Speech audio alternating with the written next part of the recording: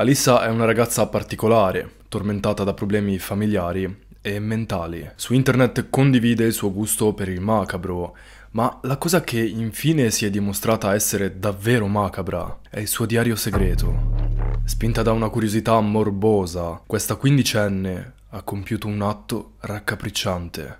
Questa è la storia della Diary Killer.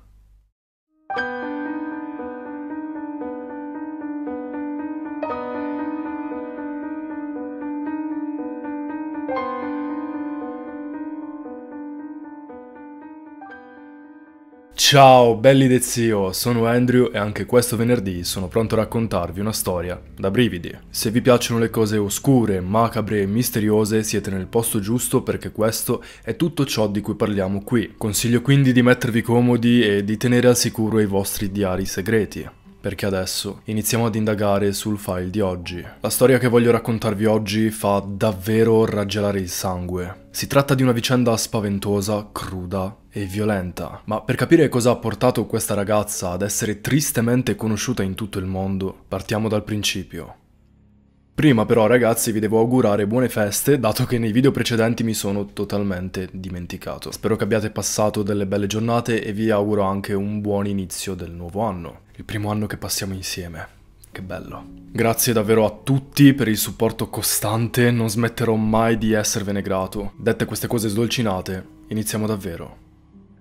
La protagonista di questa storia è lei, Alissa Bustamante. Alissa viene al mondo in un contesto molto complicato. Nasce il 28 gennaio 1994 dalla madre Michelle e il padre Cesar. La madre Michelle ha solo 15 anni al momento della nascita di Alissa e lei e Cesar non sono evidentemente pronti per avere un figlio. Si spostano di continuo e hanno svariati problemi tra di loro, per non parlare dei problemi che ognuno di loro ha già singolarmente. Michelle, stando ad una delle fonti che sono riuscito a trovare su internet, ha addirittura dei precedenti penali per reati minori. Parliamo di cose come furto, guida in stato di ebbrezza, possesso di sostanze stupefacenti e così via. Ha un pessimo carattere in tutto e per tutto, e non si mostra mai presente per sua figlia. Si potrebbe pensare quindi che Caesar fosse un padre quantomeno migliore di lei, invece sotto certi aspetti è persino peggio di Michelle. Lui è un alcolizzato, un tossicodipendente ed è stato arrestato per aggressione per ben tre volte. Come potete immaginare, la piccola Alissa passa i suoi primissimi anni di vita, quelli più fondamentali per lo sviluppo psicofisico, in una famiglia a dir poco disfunzionale, criminale e distruttiva. Alissa vive insieme ai suoi terribili genitori fino all'età di 8 anni e a causa di questo ambiente inizia a sviluppare un comportamento diciamo particolare. Come dicevo prima, appunto, all'età di 8 anni viene praticamente strappata via dalle mani dei suoi genitori. Per il suo bene viene quindi affidata finalmente ai suoi nonni. Non è chiaro quali nonni fossero, se dalla parte del padre o della madre, e non è nemmeno chiaro se sia trattato di una cosa mm, ufficiale, di un affido vero e proprio, o magari solo di una soluzione presa in famiglia. Fatto sta che Alissa va a vivere effettivamente con questi nonni nel 2002. Loro abitano a St. Martins, nel Missouri, una cittadina minuscola con circa mille abitanti. Meno persone di dove abito io, quindi vi assicuro sono davvero poche. Si tratta di un posto molto tranquillo e molto probabilmente i nonni di Alissa la stanno facendo crescere insieme a loro per cercare di disintossicarla dalla presenza dei suoi genitori, facendole anche vivere in un contesto familiare più stabile, amorevole e senza i vari problemi con la legge.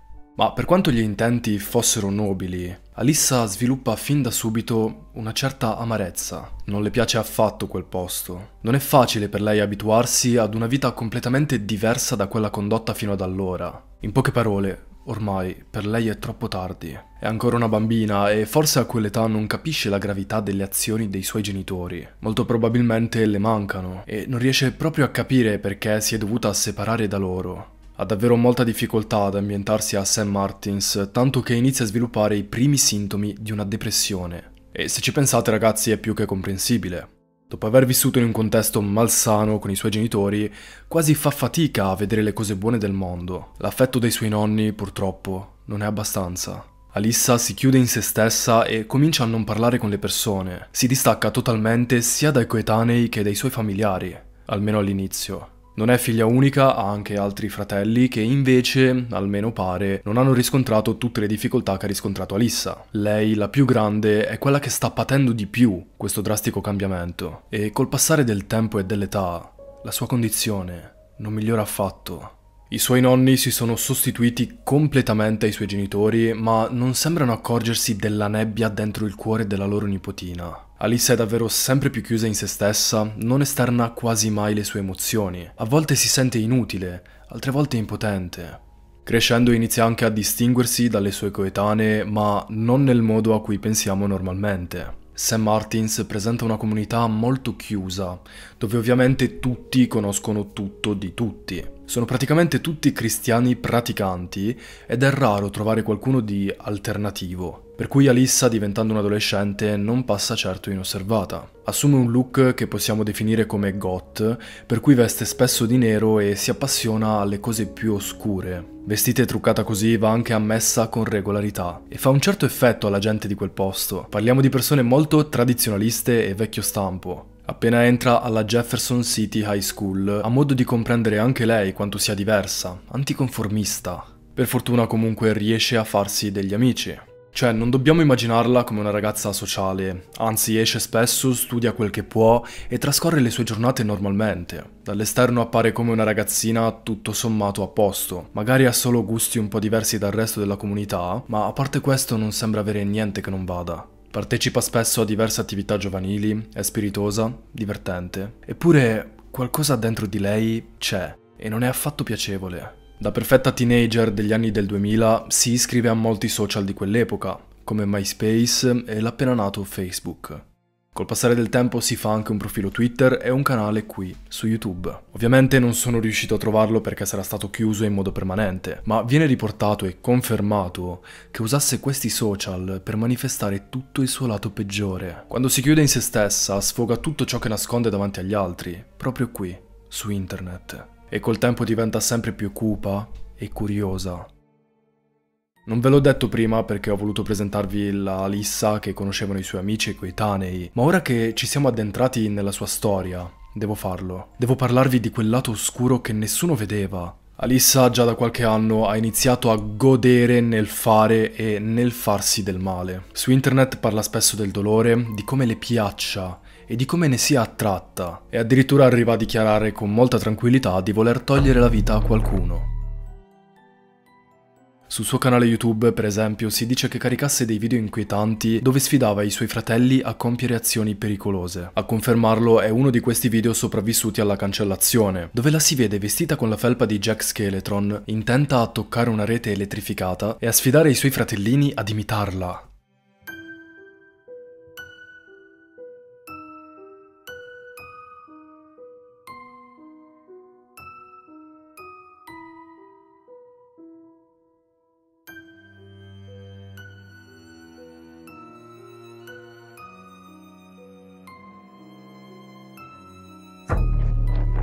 Quindi da questo punto in poi inizia a cadere sempre più dentro un vortice da cui non riuscirà mai più ad uscire. All'esterno si comporta quasi in modo scherzoso, ma dentro di lei è da troppi anni che sta crescendo un cumulo di emozioni inespresse. Come un effetto domino, pezzo dopo pezzo, sta cadendo in una reazione a catena che la sta portando sempre di più verso l'oblio. Perché vi dico questo? Beh, perché è già da un po' di tempo che Alissa ha preso l'abitudine di tagliare praticare autolesionismo insomma. La si potrebbe considerare come una ragazza emo, ma più estrema. Mi ricordo ai tempi che molti si vantavano di essere alternativi, finti depressi e con tagli ai polsi. Il problema è che Alissa non finge per niente. Come vi ho detto è da anni che si provoca dolori fisici con le sue stesse mani. Si fa tante piccole lesioni sulle mani, sulle braccia, arrivando anche a spegnersi le sigarette addosso. Ha anche fatto vedere ai suoi amici queste sue ferite e il tutto con la sua solita tranquillità. Nel privato Alissa si sfoga sui social e lo fa anche con scatti fotografici in cui si trucca in modo inquietante e di proposito, scrivendo post in cui manifesta tutta la sua passione per ciò che è macabro. È una situazione drammatica per la giovane che senza un aiuto adeguato non avrebbe mai potuto riprendersi realmente. E lei questo aiuto non l'avrà mai. Soffre da tanto tempo di depressione e da un po' prende anche degli psicofarmaci, antidepressivi per l'esattezza Ma questi non bastano per placare la furia crescente dentro di lei. Nel 2007 infatti accade un evento che chiaramente non è altro che un ulteriore campanello d'allarme. In quel periodo sta avendo dei fortissimi sbalzi d'umore e viene quindi ricoverata in ospedale dopo essersi incisa sul braccio la parola hate, odio. Ha anche tentato di togliersi la vita assumendo una grande quantità di un farmaco chiamato Tylenol. Viene quindi medicata e curata, ma i nonni non possono dimenticare questo bruttissimo avvenimento. Forse è solo ora che si rendono finalmente conto in che condizioni riversa Alissa. Perciò provano a parlarle, a creare un dialogo con lei, ma senza mai arrivare ad una vera soluzione. La mandano in centri di ascolto e la fanno parlare con numerosi terapisti. Ma tutto questo non serve a niente. Quando prima vi ho detto che ormai era troppo tardi, lo intendevo veramente, ma comunque le prescrivono un altro farmaco antidepressivo, il Prozac, ma anche questo sembra aiutarla davvero poco. Alissa sta peggiorando giorno dopo giorno e ora viene divorata da una crescente e morbosa curiosità. Ma spostiamoci per un momento ad altre persone. Alissa ormai la conosciamo, ma per capire il motivo per cui oggi ne stiamo parlando, devo introdurvi anche un'altra ragazzina. Una ragazzina che praticamente è l'esatto opposto di Alissa, ma che è molto vicina alla sua famiglia. In particolare tanto amica dei suoi fratelli più piccoli. Per questo passa molto tempo in casa loro per giocare insieme. Alissa quindi la conosce molto bene. Questa bambina si chiama Elizabeth Holten ed è più piccola di Alissa di 6 anni. Elizabeth nasce quindi nel 2000 e al momento dei fatti che stiamo raccontando ha soli 9 anni.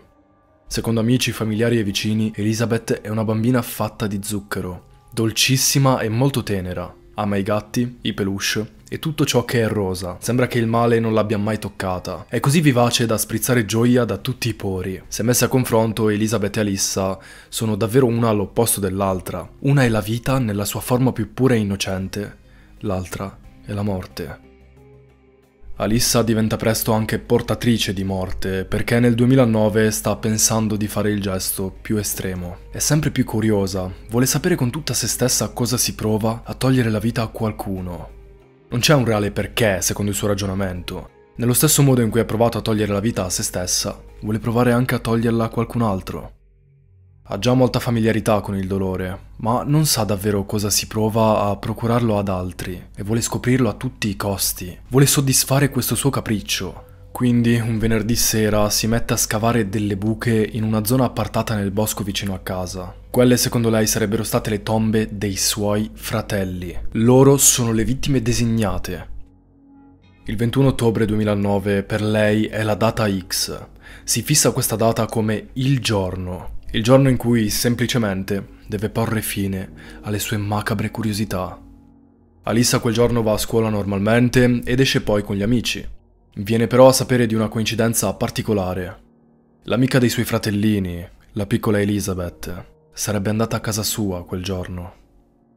Alissa allora dopo averlo scoperto decide rapidamente di cambiare il suo piano e prende di mira proprio lei, Elizabeth Holten, non sembra esserci un motivo particolare per cui abbia scelto proprio lei, ma secondo me, e questa è la mia personalissima opinione, potrebbe aver scelto Elizabeth come suo bersaglio per una questione di invidia. Cioè nel senso la piccola Elizabeth è tanto tenera, dolce e innocente. Tutte cose che Alissa non è mai stata, o meglio non è mai potuta essere per via di come è cresciuta. Ecco, forse vedere un'altra bambina essere serena e amata dai suoi genitori ha fatto leva su quel lato macabro e inquietante che viveva in Alissa. Ma queste, ripeto, sono solo le mie opinioni. Quindi torniamo ai fatti. Alissa si organizza, di conseguenza. Convince quindi i suoi fratelli ad invitare a casa la loro amica Elizabeth ad ogni costo. La piccola viene presto a sapere di questo invito e non vede l'ora di andarci. Ma ormai è sera e sua madre non è che abbia tutta questa voglia di lasciarla andare da sola. Elizabeth ha paura del buio e sua madre sa quanto le strade siano pericolose a quell'ora. La stessa bambina sa che quello che sta chiedendo a sua madre forse è un pochino troppo, ma è già andata in quella casa tante, tantissime volte e a separare le due abitazioni c'è solo un piccolo bosco che ha già percorso migliaia di volte. Erano praticamente vicini di casa, ecco. Quindi la piccola supplica sua madre per farsi dare questo consenso. Pensate che la sorellina piccola di Alissa, che aveva 6 anni, si è addirittura presentata a casa degli Holten e anche lei ha iniziato letteralmente a supplicare la madre di Elizabeth. Alla fine quindi la donna cede, ma ad una condizione. Alle 18 in punto, Elizabeth sarebbe dovuta tornare a casa, senza se e senza ma. La bambina ovviamente contentissima si avvia verso l'alloggio dei suoi amichetti, la casa insomma in cui vive anche Alissa. Arriva lì e inizia a giocare spensierata con i fratellini della quindicenne. Il tempo vola e per Elizabeth arriva presto l'ora di rientrare a casa. Lascia quindi i suoi amichetti alle 18 e si dirige verso casa sua. Alissa però in quel momento la vede, la intercetta e le dice che deve assolutamente farle vedere una cosa importante. Elisabeth conosce bene Alissa e non ha motivo per non seguirla. Le due quindi si incamminano in direzione del bosco. Passeggiano per una decina di minuti e più vanno avanti, più si immergono nella fitta distesa di alberi. Questi sono minuti interminabili per Alissa, minuti per riflettere, per interrogarsi. Ma mentre il tempo scorre inesorabile, le due raggiungono il luogo in cui qualche sera prima la quindicenne aveva scavato delle buche. Elisabeth è tranquilla, spensierata e incuriosita da quelle strane cavità nel terreno, ma all'improvviso Alisa la afferra e impugnando un coltello da cucina le toglie la vita. Dopo averla seppellita in una di quelle buche, torna infine a casa. Mette poi il coltello da cucina nella lavastoviglie e continua la sua serata come se nulla fosse. La dolce Elizabeth, che aveva solo nove anni, non venne mai più vista viva. E quando la famiglia si rende conto che non stava rientrando a casa, inizia a cercarla disperatamente. Ricordate che doveva tornare a casa alle 18 e sua madre sapeva benissimo che non si sarebbe dilungata oltre per nessun motivo, a meno che non fosse successo qualcosa di brutto. In preda al panico quindi la donna contatta la polizia e denuncia la sua scomparsa intorno alle 19. Sua madre sa bene che non può essersi allontanata da sola. Per quanto fosse stata euforica quel giorno, conosce troppo bene la sua paura del buio. Capisce al volo che qualcosa di spaventoso deve esserle successo. Forse si è persa, forse qualche maniaco l'ha rapita. Quello che non sa però è che è già troppo tardi. La polizia si mette subito alla ricerca della bambina e passa anche nell'area in cui Alissa l'aveva seppellita, ma in quel momento, pensate un po', nessuno si è accorto di nulla. Eppure è davvero molto strano perché molte squadre speciali sono state messe all'opera proprio in quel punto. Pare essere intervenuto persino l'FBI e anche le unità cinofile, ma nessuno in quel momento scopre che fine ha fatto Elizabeth. Hanno provato a chiamarla sul cellulare e sebbene mostrasse il segnale proprio in quel punto specifico, la polizia non trova assolutamente niente. Allora procedono con un altro approccio. Iniziano a concentrarsi molto sulla famiglia di Elizabeth e sui suoi conoscenti. Vengono quindi presto a sapere dell'esistenza di Alissa e dei suoi fratelli. E da subito capiscono che in quella ragazza c'è qualcosa che non va. Ispezionando la stanza di Alissa si rendono subito conto di avere a che fare con un'adolescente evidentemente problematica. Ancora non hanno tutte le informazioni che sappiamo noi, ma capiscono al volo che in questa ragazza c'è un grosso problema. La sua stanza è tappezzata di scritte fatte con l'inchiostro, ma alcune di queste scritte sembrano addirittura fatte con del sangue. Sui muri ci sono vari poster e in quella stanza non entra molta luce. Trovano alcune lettere scambiate con suo padre, che tanto per cambiare era in prigione, e scoprono anche dei disegni piuttosto inquietanti. Disegni che fanno davvero pensare al peggio. Alissa si dimostra una ragazzina con evidenti problemi, ma a darne la conferma agli inquirenti e a tutti quelli che la conoscono è il suo diario personale. Alissa non scriveva solo sui social, ma teneva anche un diario segreto in cui riversava tutti i suoi pensieri. L'ultima annotazione riportata è datata lo stesso giorno della scomparsa di Elizabeth. Ciò che c'è scritto è inequivocabile, impossibile da interpretare in modo differente. Vi riporterò le parole più o meno esatte, ma abbiate pazienza se censurerò i termini più forti. La polizia ha trovato una scritta che è stata successivamente cancellata dalla stessa Alissa, così come vedete nell'immagine. La ragazza però non sapeva che grazie alla tecnologia delle forze dell'ordine sarebbero riusciti ad estrapolare ogni singola parola. Questo è quello che ha scritto. Ho appena ucciso qualcuno, cazzo. L'ho strangolata, le ho tagliato la gola e l'ho pugnalata. Ora che è morta non so come sentirmi. È stato fantastico. Non appena superi la sensazione del oh mio dio non posso farlo, è abbastanza divertente. Sono un po' nervosa in questo momento. Ok, ora devo andare in chiesa. LOL. Come vi ho detto si tratta di parole inequivocabili e non oso immaginare la reazione dei detective in quel momento. Alissa in quella nota ha palesemente ammesso il suo delitto. Non passa molto tempo e durante l'interrogatorio la stessa Alissa conferma le parole scritte in quel diario. È proprio lei a condurre la polizia alla tomba dove giace il corpo della bambina. L'intera cittadina è sconvolta, in particolar modo la famiglia della vittima, che da questo momento inizia ad odiare profondamente Alissa. La madre di Elizabeth pensava che sua figlia fosse stata rapita da un maniaco o che magari si fosse persa nel bosco. Non può credere, nessuno può credere che in quella cittadina tranquilla una quindicenne sia stata l'artefice di un delitto così efferato. Un delitto senza movente, spinto solo da una morbosa curiosità.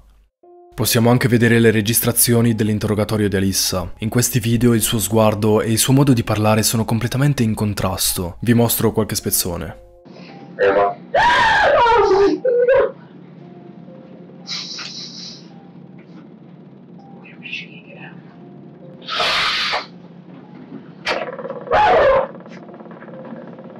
Take your time.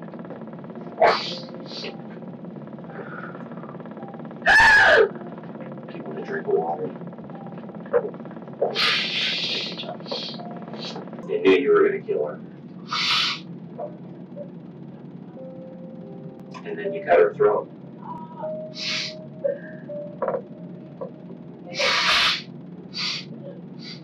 Is that what happened?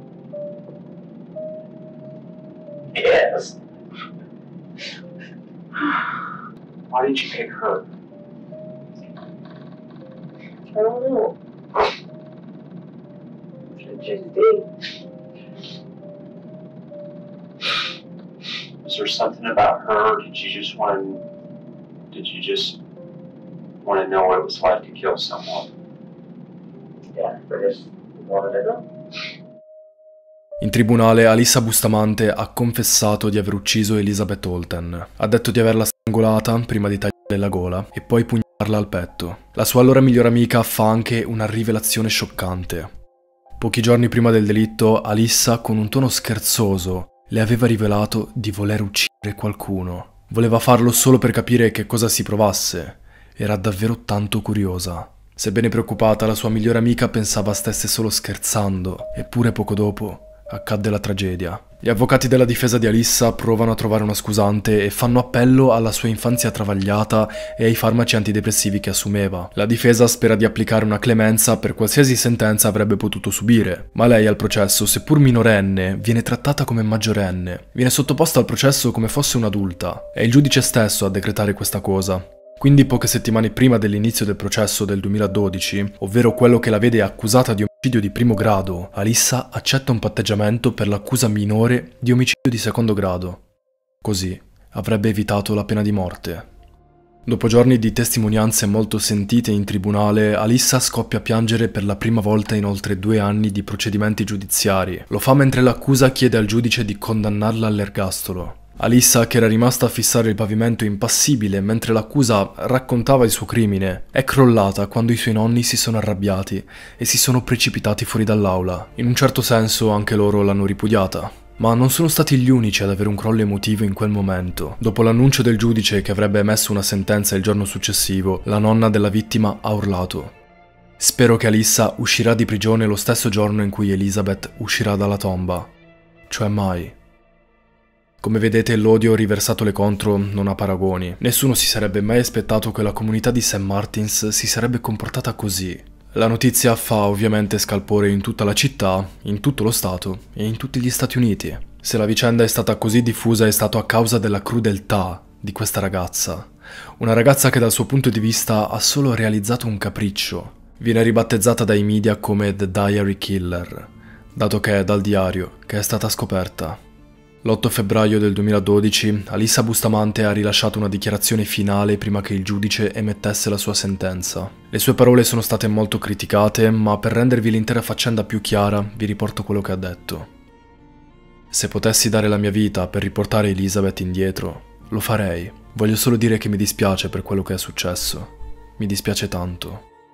A rendere un minimo dubbie queste parole è il comportamento di Alissa durante il proclamo della sua sentenza. Anche se ha pianto una volta, per il resto è rimasta quasi impassibile. E ovviamente ragazzi, ognuno reagisce in modo diverso a queste situazioni, per cui anche se per esempio il colpevole rimane impassibile, non è detto che non sia dispiaciuto o pentito. Cioè, ciò che si prova dentro è molto più profondo rispetto a quello che si vede all'esterno. Comunque Alissa è crollata ancora una volta quando il giudice ha emesso la sua sentenza di colpevolezza. Forse sperava di cavarsela con quel patteggiamento morto. Invece è stata condannata all'ergastolo, con possibilità di libertà condizionale. Come parte del patteggiamento potrebbe uscire di prigione sulla parola, ma solo dopo circa 30 anni di reclusione. Dopo aver ottenuto un nuovo avvocato nel 2014, Alissa Bustamante critica il sistema dentro cui crede di essere stata gettata. Pare che in quel periodo la Corte Suprema degli Stati Uniti avesse gestito i casi di omicidio di primo grado in un modo particolare. A quanto ho capito, la Corte ha fatto in modo che quel giudice gestisse il processo di Alissa trattandola come un'adulta. Per cui Alissa si sente in qualche modo presa in giro dalla legge, visto che secondo lei ha subito una qualche sorta di ingiustizia.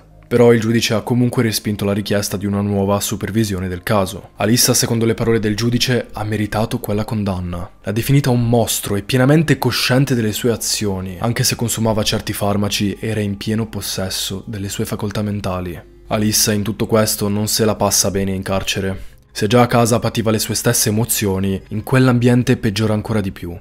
Cerca spesso di togliersi la vita, tanto che i dipendenti del penitenziario devono sorvegliarla con molta attenzione. Ritenendola mentalmente instabile, viene seguita a livello psicologico e anche se non c'erano molti dubbi, viene fuori qualcosa di particolare. Dopo vari esami ad Alissa vengono diagnosticati il disturbo borderline della personalità e uno stato avanzato di depressione, seguito da sentimenti di vuoto, instabilità degli stati d'animo, manifestazioni inappropriate di rabbia e scarso controllo degli impulsi. Alissa viene definita come psicologicamente danneggiata e gravemente disturbata emotivamente. In verità anche la sua difesa ai tempi aveva giocato questa carta per vincere il processo, ma senza riuscirci. Seppur queste condizioni siano reali, Alissa rimane dietro le sbarre. Gli ultimi aggiornamenti sul caso riguardano la mamma di Elizabeth. Questa donna nel 2015 ha fatto causa contro la struttura che avrebbe dovuto controllare meglio la salute mentale di Alissa. Stando alle sue parole, quella struttura non ha fatto il suo dovere. Dopo quell'incidente del taglio sul braccio del 2007, Alissa è stata seguita da degli specialisti, ma secondo la madre di Elizabeth non hanno approfondito bene la sua psiche. Se solo lo avessero fatto, forse tutto questo non sarebbe accaduto, o almeno una parte di questa storia non sarebbe mai avvenuta. Un giudice ha però respinto questa causa.